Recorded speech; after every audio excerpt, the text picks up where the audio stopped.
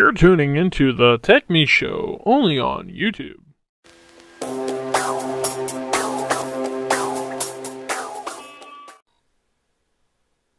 Hey everybody, thank you for tuning in to the TechMe Show. This is Lance here. Well, today I'm going to show you a really cool feature that's built into, uh, well, Windows 8. And what exactly do I mean?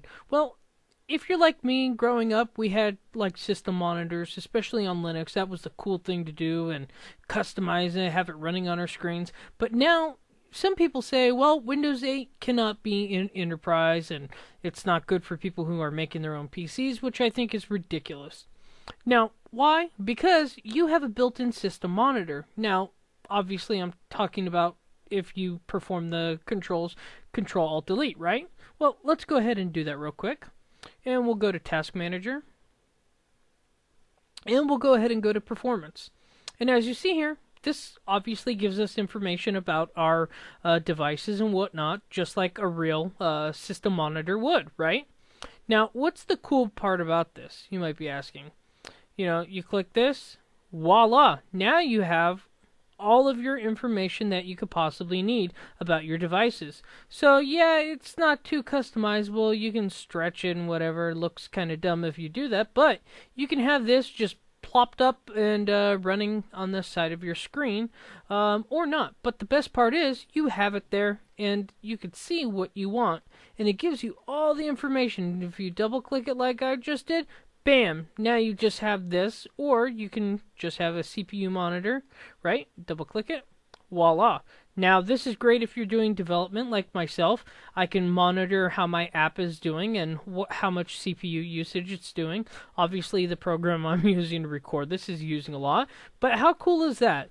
Just right in Task Manager, by going under Performance, you can now have something that tells you, well, how much memory you're doing, Wi-Fi if you want to keep track of that, uh, which is kind of cool. It tells you the adapter and whatnot, and you can choose different things. Just switch over to CPU, and if you right-click again, uh, choose memory, and it's just overall a really cool thing. Now, when you go to CPU, you can change the graph to logical processors, which is really cool, and show kernel times, which is also pretty cool. Now, what else can you do? Well, let's go ahead and change over to memory. How cool is that? I think this is great. Um, and I think it's even cooler the fact that it's just built in. How would you ever think to maybe really look for that, you know? Uh, you probably wouldn't. Um, but look at network details. How cool is that? I think that's terrific. And the best part is you can maximize it should you want to. Uh, but yeah, I think this is a great feature that's built in. Uh, it's one less app I'm going to have to create or suggest uh, my clients uh, have if uh, they're going to figure out what's going on with their connection. But it's great. It just shows, you know, Microsoft is making a difference. You know, people get on my butt calling me a fanboy, but come on, guys. Look how cool this is. It's built in.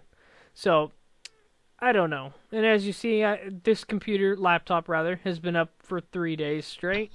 Uh, hopefully more. But anyways, this is Lance for the TechMe Show. Keep coming back for more Windows 8 uh, reviews, tips, tricks. It's gonna happen. I know a lot of you wanted to know when am I gonna do more. I'm working on it. I'm working on it. And also go over to XDA Developers TV. That's where I am also uh, making a Windows Phone uh, 8 video coming up. So please tune into that.